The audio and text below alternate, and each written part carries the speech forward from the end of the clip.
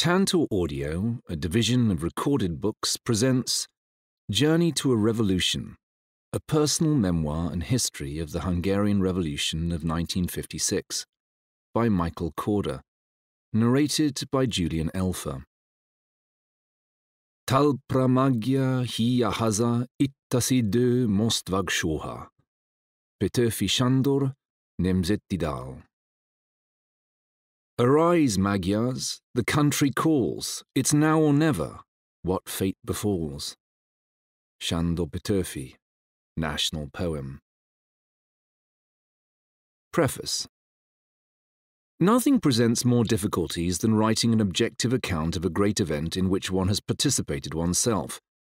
Being objective about the Hungarian Revolution of 1956 is hard enough to begin with.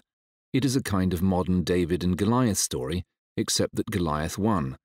But harder still for somebody who participated in it, like myself, and who was present at some of the major moments. The Abbé Sieyès, when asked what he did during the French Revolution, replied, Je l'ai survécu. I survived it. I suppose I can, at the very least, make the same claim, but I also witnessed demonstrations of almost unbelievable courage, of shameless political betrayal, and of the kind of unrestrained military brute force and violence against civilians of which the 20th century was so full, and which do not seem to have ended so far in the early years of the 21st. Although there is no doubt that the events of October 1956 constituted a revolution, they swiftly became something else a war. The revolution was spontaneous, popular, and embraced every segment of society, including many members of the Hungarian Communist Party.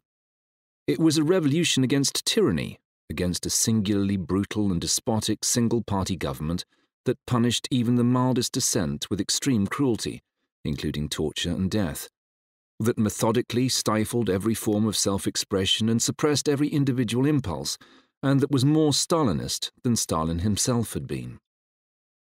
It was also a revolution against 11 years of alien, heavy handed, unyielding Russian domination and occupation. The Hungarian Revolution of 1956 swept away the Communist Party's control over every aspect of Hungarian life, and for a time forced the army of the Soviet Union to retreat before an angry armed body of freedom fighters, as they came to be known, consisting of workers, students, Hungarian army personnel, and ordinary civilians men, women, and children. At that point, the Soviet Union launched a full scale war against the Hungarian people, suppressed the revolution, and handed the country back to the hardcore Hungarian communist bureaucrats and their feared and hated security service. Fifty years after the revolution, we are living in a very different world, one in which Hungary is a prosperous member of the European Union and of NATO, in which the Soviet Union has ceased to exist, and in which communism is virtually extinct except in China and Cuba. It is therefore important to remind ourselves of these events, for without the bravery of the men and women who fought in 1956, we might today still be living in the world of the Cold War, of monolithic communism in Eastern Europe, and of nuclear stalemate. I hesitated for some time before deciding to include myself in this account of the revolution, but it seemed to me that many of these events benefit from being described by an eyewitness, I have tried to strike a balance between history and memoir, and have not tried to write a first person account, since there were, of course, many things I did not see or participate in, and since my own experiences in the streets of Budapest in 1956 were primarily those of an observer. Many others took far greater risks than I did, and it is in their memory that I have written this book. Throughout, I have tried to set down as accurately as I can what took place and why without sensationalism. In the days while I was in Budapest, many things happened of a personal nature which I have not described here. This book is about the Hungarians and their revolution, not about me. I am a camera, Christopher Isherwood wrote of his presence in Berlin in the years just before the Nazis came to power, with its shutter open, quite passive, recording, not thinking. Some day all this will have to be developed, carefully printed, fixed. So it was and is for me. I was a camera. I have recorded certain scenes as they were, fixed in my memory, like the black and white images of a war photographer, to give the reader an impression of what it was like to be in the middle of a revolution and to show just what it is like to be on the spot when history and politics take to the streets. But before one can explain the revolution, one must first explain what the Cold War was like in the days when the Iron Curtain was real and still freshly built, dividing Europe in two as if it had been cut by a knife. 1. The Idol with Feet of Clay. Few things stand out less clearly at the time than a turning point in history, at any rate when one is living through it. As a rule, it is only in retrospect that an event can be seen clearly as a turning point. Historians write as if they were looking at the past in the rear-view mirror of a moving car, and of course, picking the turning points of history is something of a specialty for many historians. In some cases, the more obscure the better. Turning points, however, are much harder to recognize as they occur when one is looking ahead through the windshield.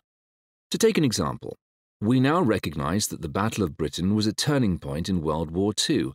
Fewer than 2,000 young fighter pilots of the Royal Air Force handed Hitler his first defeat and ensured that whatever else was going to happen in 1940, Great Britain would not be invaded. But those who lived through the Battle of Britain day by day did not perceive it as a decisive, clear cut event. The fighter pilots were too exhausted and battle weary to care, and the public, while buoyed by the victories of the RAF in the sky over southern England, was still struggling to come to grips with the evacuation of the British Expeditionary Force from Dunkirk and the collapse of France, and would soon be plunged into the first stages of what later came to be known as the Blitz. Those who, as children, saw the white contrails of the aircraft swirling overhead in the blue summer sky, or watched the shiny brass cartridge cases come tumbling down by the thousands, had no sense of being witnesses to a turning point. Nor did their elders. It was only much later that this turning point began to be perceived as one, and that Battle of Britain Day was added to the list of annual British patriotic celebrations. In much the same way, the Hungarian Revolution of 1956, while it was clearly a major event, was not perceived as a turning point in history until much later, when the unexpected disintegration of the Soviet Empire in Eastern Europe followed very shortly by the total collapse of the Soviet Union itself, could be traced back to the consequences of the uprising in the streets of Budapest.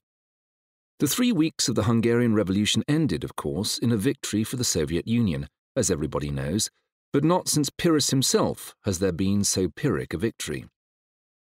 The Hungarians had chipped the first crack in the imposing facade of Stalinist communism and had exposed the Soviet Union's domination of Eastern Europe for the brutal sham it was. For the first time, people in the West, even those on the left, had seen the true face of Soviet power, and it shocked them. The Hungarians lost, but in the long run, the Russians lost more. Communism became much harder to sell as a humane alternative to capitalism, or to Western European democratic socialism, and the Russians themselves, badly shaken by the size and the ferocity of the uprising they had put down with such overwhelming force, and dismayed by the attention it received in the world's media, never attempted to repeat the experience in Europe. From time to time, the tanks might be sent rumbling into the streets again, as they were in Prague in 1968, but they would not henceforth open fire on civilians. Without apparently having given the matter much thought, the Russians discarded the trump card in their hand the belief on the part of Eastern Europeans that the Red Army would shoot them down mercilessly if they rose against the puppet governments the Soviet Union had imposed on them at the end of World War II. More dangerous still, those governments themselves, whose ultimate legitimacy rested on the threat of armed intervention by the Soviet Union, ceased to believe that it would ever intervene again to support them with force the way it did in Hungary in 1956. And if the Russians would not, then how, when push came to shove, were the people's governments of Poland, Czechoslovakia, Hungary, the German Democratic Republic, Bulgaria, Romania, and Albania to remain in power over the long haul. This is always a serious problem of empire, by no means limited to the Soviet Union. In 1919, the United Kingdom used violence, albeit on a considerably smaller scale, against the Congress Party in India when General Dyer ordered his troops to open fire on demonstrators in Amritsar killing 379 of them at the Jallianwala Bagh and wounding perhaps three times as many.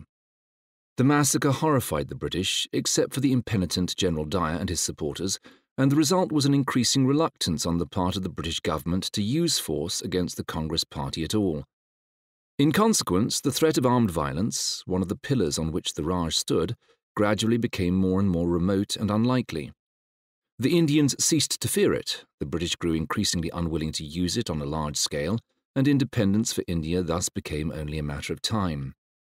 In much the same way, the Hungarians' uprising against their own unpopular government and the government's Soviet masters, while it failed, fatally shook the confidence of the Soviet government in its ability to control the countries of Eastern Europe, a confidence that had already been weakened by Stalin's death, by the increasingly and defiantly independent attitude of Tito's Yugoslavia, and by the widening ideological rift between the Russian and the Chinese Communist parties. After 1956, the Soviet Union found itself in an increasingly uncomfortable and ambivalent position vis a vis the Eastern European people's democracies, since the Soviet leadership was desperately trying to dismantle the remnants of Stalinism at home and bring about a thaw in Russian life, while at the same time continuing to prop up unrepentantly Stalinist leaders in the Soviet Union's client states. In the Politburo, there was a dawning realization that the Soviet Union was in a race against time to create a viable consumer economy, while still maintaining and modernizing its huge armed forces, as well as to allow a greater degree of freedom of expression than had been thinkable under Stalin, without altogether losing the party's ultimate control of the media. This was a tricky balancing act for Stalin's contentious heirs, akin to a herd of elephants trying to walk a tightrope. While performing this miracle, the members of the Politburo did not want their attention to be diverted toward the satellite countries, as the Eastern European communist regimes were called in the West, or the fraternal socialist countries, as they were called in the Soviet Union. It was the job of the Eastern European leaders to maintain discipline and order in their countries, in short, to keep everything frozen, on ice, a job which was by no means easy to do when the Soviet Union itself was experimenting however gingerly, with a thaw. It was the unhappy lot of the Hungarians in 1956 to be the first people to seriously challenge Russian hegemony in Eastern Europe, not just to challenge it intellectually or with speeches, which was already dangerous enough, but to challenge it with armed force. The Russians' response was instinctive, brutal, and violent, in effect to do exactly what Stalin would have done, but cruel and harsh as the suppression of the Hungarian rebellion was, it was not followed by the kind of widespread terror that would have come naturally to Stalin. Certainly, many Hungarians were shot and many more imprisoned, but there were no mass repressions, no transfers of population to the gulags or to remote parts of the Soviet Empire, no attempts to wipe out whole sections of the population. Quite apart from the reluctance of the Soviet leadership to carry out such a program, two things had occurred that nobody had foreseen both of which stemmed from the fact that Hungary has a common border with Austria and with what was then West Germany. One occurrence was that from the moment the Hungarian Revolution broke out, it became possible to enter Hungary quite freely, with the result that this was the first event of its kind to be covered in detail from the beginning by reporters, television cameramen, and photographers from all over the world. Few historical events, in fact, have ever produced more copy and pictures than the Hungarian Revolution, and the pages of Life, Paris Match, and Stern, and their counterparts all over the world, brought the revolution home to readers in searing and unforgettable images, none of them likely to create goodwill for the Soviet Union. The second was that the open frontiers with the West made it possible for large numbers of Hungarians to leave once it was clear that the revolution had failed Whole classes of people whom Stalin would have had shot or sent to the gulags simply walked across the frontier into Austria or West Germany and from there moved on to the United Kingdom, Canada, and the United States. This Hungarian diaspora was not unlike the flight of educated, upper middle class Cubans to Miami after Castro seized power. Hitherto, accounts of Soviet repression had been anecdotal, and many people on the left didn't believe them. The Chechens had been shipped in cattle cars in midwinter to exile in Siberia without their suffering having been recorded by photographers for life, by cameramen for the network news shows, or by best selling novelists.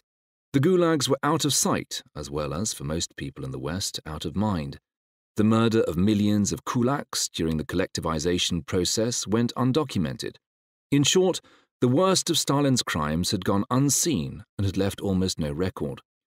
But Budapest was full of eyewitnesses, and events there were on the nightly news and the front pages in the West, impossible to ignore. Not only that, all this was, from the point of view of the press, great stuff. Burning buildings, tanks blown up by heroic schoolchildren with Molotov cocktails, weeping, wounded babies in the hospitals, students fighting the Red Army in the streets. These events were perfectly calculated to make news, like something out of the pages of Evelyn Waugh's Scoop. Here was everything Lord Copper could have wanted heroism in the streets, the release of an imprisoned cardinal, the secret police shot down by angry civilians, and beautiful girls cradling submachine guns. The hapless Russians were caught in the full glare of the Western news machine, blinking in the face of flashbulbs and growling with rage, like an adulterous husband caught in flagrante delicto by the Fleet Street press corps. As if that were not bad enough, the great numbers of Hungarians who escaped after the revolution, and who were speedily settled in the West to assuage Westerners' guilt for not having intervened in or supported the revolution, kept the event alive in people's imagination for many years. So, unlike most news stories, this one did not fade quickly from people's minds. People had seen with their own eyes what Soviet repression was like. It was not quickly forgotten on either side of the Iron Curtain, and great sympathy was extended to those who had survived and escaped it. When Talleyrand was told the news of Napoleon's execution of the Duke of D'Enghien and asked what he thought of what was then regarded by many people as a state crime, he replied, It is worse than a crime, it is a blunder. Much the same can be said of the Hungarian Revolution. It was a blunder of historic proportions on the part of the Soviet Union. The initial demands of the Hungarians could have been met, perhaps not totally, but partially, certainly enough to restore order. Socialism with a human face, as it was later called, could have been put in place in Hungary and might have spread to the rest of the Soviet Union's Eastern European Empire, and the Warsaw Pact could have been turned into a genuine alliance. Instead, the governments of the people's democracies, for their own survival, were obliged to tighten the screws on their own people, the mailed fist was henceforth the only official political answer to any problem, and it became clear, even to those who had not hitherto been willing to believe it, that the only way forward to a better life would require the destruction of the whole communist system and the complete removal of Russian armed forces from Eastern Europe. An account of that event, undoubtedly a turning point in the full meaning of the phrase, seems appropriate 50 years after it occurred, when we can see quite clearly, to borrow the words of Winston Churchill, that while it was not the end or even the beginning of the end, it was perhaps the end of the beginning. The uprising in Budapest in October 1956 marked the first and most significant failure of the Soviet Union in its hard won role as the dominant power in Eastern Europe, as well as a monumental public failure in foreign relations and public relations for the heirs of Stalin. After 1956, Soviet policy in Eastern Europe seesawed between timid attempts to soften the grasp of the party and the police and to allow each country a little more freedom in terms of its own special historical institutions and values. For example, not trying too hard to eliminate private farming in Hungary or turning a blind eye to the role of the Catholic Church in Poland, and half hearted threats of force which achieved little except to keep alive the feeling among Eastern Europeans that the Soviet Union, communism, and the Red Army were their enemies, and that their own governments were merely collaborationists and traitors. This feeling was exacerbated by the fact that, from the point of view of the Russians, the Eastern Europeans, to paraphrase Harold Macmillan, never had it so good. However grim, grimy, and impoverished life might seem to Western visitors in Prague, East Berlin, Budapest, or Warsaw, it was a good deal better than life in Moscow or Leningrad, let alone in the more remote industrial cities in the Soviet Union. The fact that agriculture had been only half heartedly collectivized in the Eastern European countries led to a greater abundance of food. Besides, the Eastern European countries had not experienced the full horrors of Leninism and Stalinism from 1917 on. Most of them still had a substantial educated middle class, however much it was shorn of political rights and property, and some tradition of bourgeois democracy. The party might try to discourage religious belief, but the churches had not been eradicated any more than the peasants had been turned into kolkhozniki, collective farmers. From the Russian point of view, the countries of Eastern Europe had nothing to complain about. This made it all the more irritating that they did nothing but complain. Worse, the increasing inability of the Soviet Union to hold its satellite states down and impose orthodox Stalinist Leninist politics on them the realization that nothing but brute force, brutally applied, could prevent the Hungarians and the Czechs from moving toward a free market economy, or the Poles from going to church and forming independent labor unions, or the East Germans from trying to escape to West Germany despite the war, or the Romanians from hating the ruling Ceausescu family, eventually forced the Soviet Union to relax its hold on Eastern Europe. Even a world power could do only so many things at once. The Russians were trapped in an extravagantly expensive arms race with the United States, sponsoring revolutions as far abroad as Central America and Africa, supporting a host of Middle Eastern clients, attempting to suppress rebellion in Georgia, Afghanistan, and most of their own southern border republics, and competing with the increasingly obdurate Chinese for leadership of the communist world. The Russians' economy was hopelessly over-centralized, their industrial base, except when it came to military production, was antiquated, agricultural production was declining, and the Russians themselves, in the dawning new age of satellite television and personal computers, were for the first time exposed to the temptations of the Western consumer economy, temptations which the planners in the Politburo were unable to stifle or to satisfy. The Soviet Union was thus in no position to use force in Eastern Europe, even if it had wanted to. And as the Soviet army bogged down in Afghanistan, the Russian equivalent of America's involvement in Vietnam, even confidence in the army began to wane. The Soviet Union was not yet a paper tiger, but it was in the process of becoming one, and its troops in the Eastern European countries began to be pitied rather than feared. It was Gorbachev's great and fatal miscalculation to assume that he could allow the Eastern European countries to give up communism, yet still preserve it at home. In fact, the collapse of communism in the Soviet Union's client states inevitably led to its swift disappearance in Russia as well. The system collapsed like a house of cards, with a swiftness that astonished everyone. The Hungarians had been the first to grasp that the idol had feet of clay, and the first to try to destroy it. The toppling of Stalin's huge statue in Budapest in October 1956 was deeply symbolic. But the Russians, having suppressed the Hungarian Revolution, failed to learn a lesson from the experience. They expanded their role as a world power, a nuclear superpower competing with the United States all over the world, without trying to solve the problems, or in Marxist terms, the contradictions, in their own backyard, and eventually ferment and dissent close to home fatally undercut the regime. It took 25 years for the Hungarians to win the battle they had begun and lost in October 1956, but in the end they did win.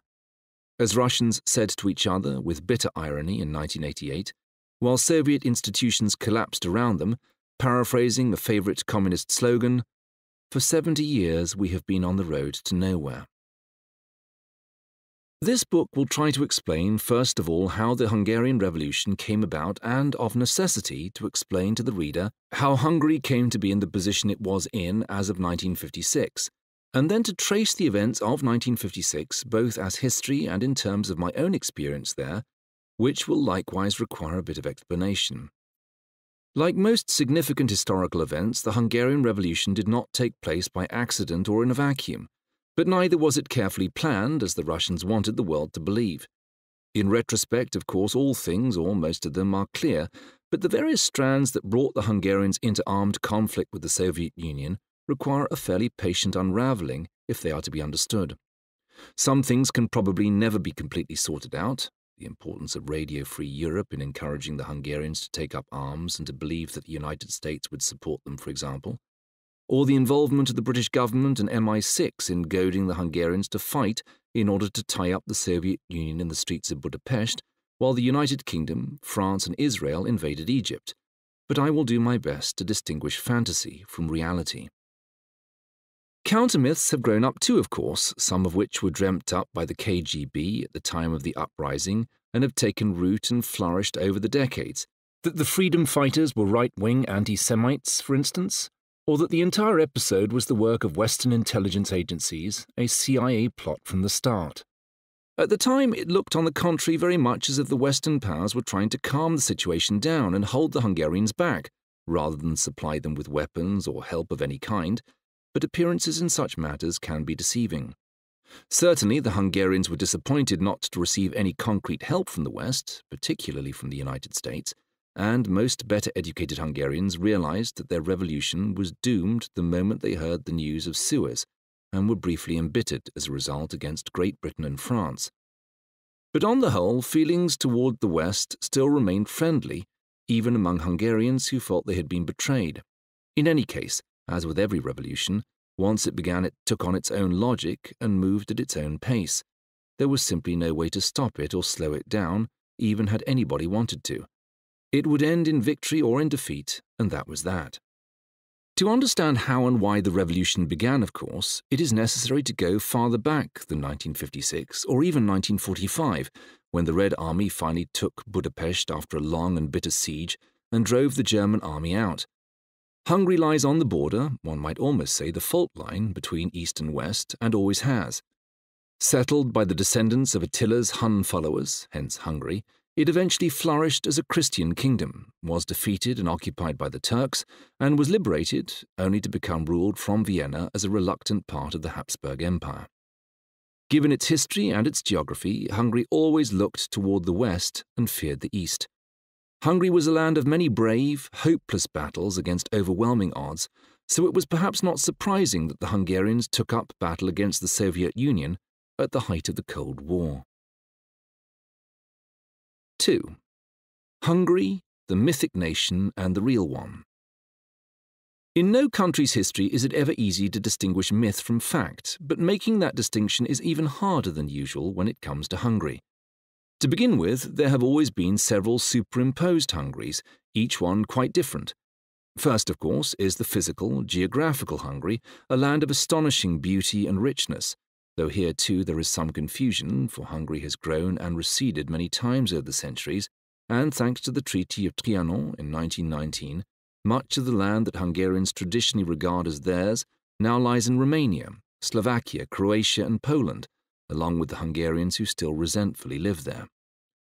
It is hard for an American or a Briton to understand how difficult history is for a small country with no easily fixed or natural borders, with larger and much more powerful neighbours to the east and west, and with exalted territorial ambitions of its own against its smaller neighbours. Second is the historical Hungary, a nation that is now 1,110 years old, as old, that is, as France, this Hungary was transformed from a way station of nomadic, mounted Hunnish tribes, inventors of the stirrup, beef jerky, and the wood-framed leather-covered saddle, moving west in the wake of Attila into a functioning monarchy under the leadership of Arpad. It struggled for its existence during most of its tumultuous history, eventually becoming the easternmost bastion of Catholicism until it was conquered by the Turks in 1526. Hungary's population fell from 4 million to 1.5 million under Turkish rule. The Turks were early practitioners of genocide, and Hungary was finally liberated in 1686, only to be engulfed by the Habsburg Empire, against which the Hungarians rebelled in the 18th and 19th centuries with tragic consequences. Third is the mythic Hungary, land of gypsy music, dashing horsemen, beautiful, hot blooded women, paprika, rich, spicy food, full bodied wines, and Tokai. Fourth is the Hungary of the diaspora, a nation with just over 10 million inhabitants, plus almost 3 million living, whether willingly or not, abroad. The fourth Hungary has always commanded more attention than the others, for Hungary's greatest export has always been people. A good example, in the 18th century, Morik Benyovsky, a Hungarian, fought with the Poles against Russia, was taken prisoner and deported to Kamchatka in easternmost Siberia, managed to escape by seizing a Russian man of war and sailing it around the world, stopping among other places at Madagascar, which impressed him greatly, and then made his way to France, where he persuaded King Louis XV to let him establish a French colony in Madagascar. Louis XV, not an easy man to persuade, eventually made Benyovsky a count and allowed him to proceed, whereupon Benyovsky returned to Madagascar defeated the local tribes, and in 1776 had himself declared Emperor of Madagascar, hardly what Louis XV had in mind. He persuaded those of the inhabitants of Madagascar who could read to adopt Latin script with Hungarian spellings, made a visit to Britain and the United States seeking support, and was appointed a general by Empress Maria Theresa of Austria before losing his life in a coup staged against him by rival French colonists. Benyovsky set the pattern for many Hungarian expatriates who followed him. One sees in him a fatal combination of courage, optimism, imagination, restless talent, charm. After all, he charmed both Louis XV and Maria Theresa, two supreme realists, and unmistakable folie de grandeur, which would soon become only too familiar. Benyovsky was not alone in his gift for charming the French king and court. Count Laszlo Bercsényi, a gifted 18th century cavalry officer, brought to France the idea of the hussar, the Hungarian light cavalryman, with a characteristic short, gold laced fur trimmed, fur lined cape thrown over one shoulder, a high fur cap, skin tight embroidered riding breeches, and long curved sabre, thus changing the French cavalry and eventually the cavalry of all the great European nations, which one after the other adopted the hussars as free ranging light cavalry. Light cavalry had a completely different role and set of tactics from conventional heavy cavalry. The latter carried long, straight swords and wore thick, thigh high boots, heavy helmets, and gleaming cuirasses.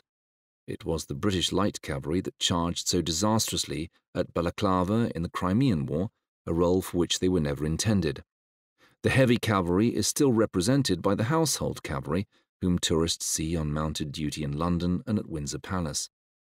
It must have taken a singular degree of charm and what would later come to be known as chutzpah to persuade the officers of what was then Europe's most powerful army to accept a major innovation in cavalry, always the most conservative of arms from a small country far away on the Danube. It is pleasant to record that Bercsényi came to a happier end than Benyovsky. He was created a Marshal of France, the only Hungarian to reach the highest rank in the army of France. History has always provided talented and ambitious Hungarians with good reasons to leave Hungary and seek their fortune abroad. In the 18th century, Prince Rákóczi's abortive uprising against the Habsburgs led many aristocratic Hungarians to flee. A century later, the failure of the revolution of 1848 to 1849, which was crushed by the Austrians with help from the Russians, led many educated Hungarian professional men, as well as aristocrats, to leave.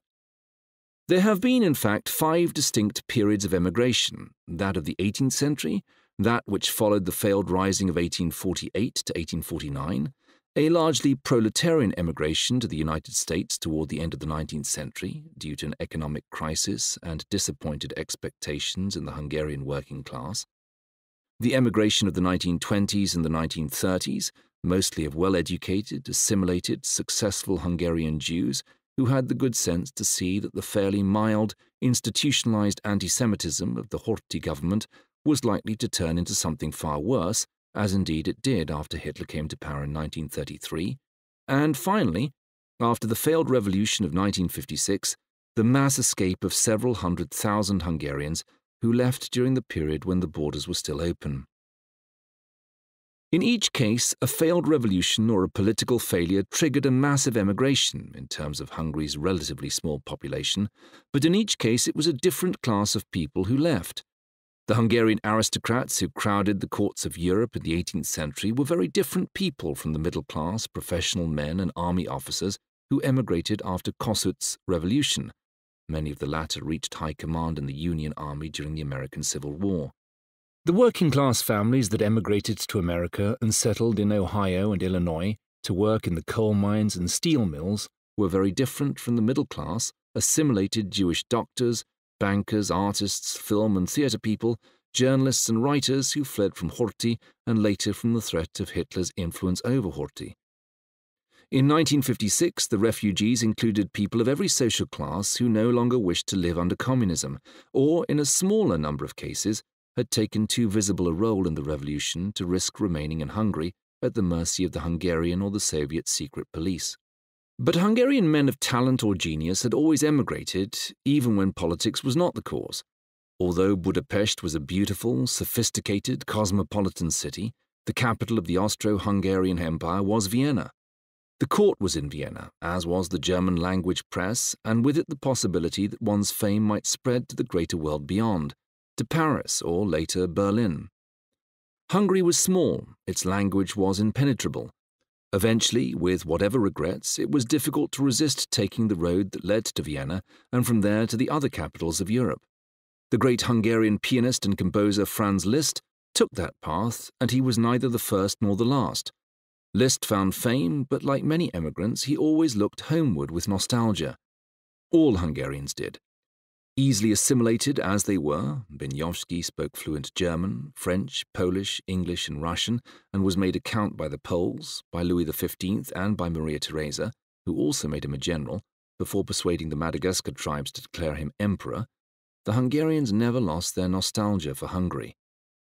This nostalgic Hungary, a colourful folkloric land of wailing gypsy violins, spicy goulash, frothy desserts, and great estates where exotically dressed aristocrats still hunted bison, wolves, and bear, became, thanks to generations of Hungarian emigrants, more or less fixed in people's minds. In much the same way, millions of emigrants from Ireland eventually succeeded in imprinting in people's minds a mythic island of lush green fields, leprechauns, shamrocks, and smiling colleens that bore scant resemblance to the land from which they had fled to escape starvation, poverty, fratricidal politics, religious persecution, and 900 years of English occupation. Perhaps, fortunately, Hungary has no equivalent of the green plastic bowler hats and buttons that read, Kiss Me, I'm Irish, worn on St. Patrick's Day, even by people who haven't a drop of Irish blood. We hope you enjoyed this preview. To continue listening to this audiobook on Google Play Books, use the link in the video description.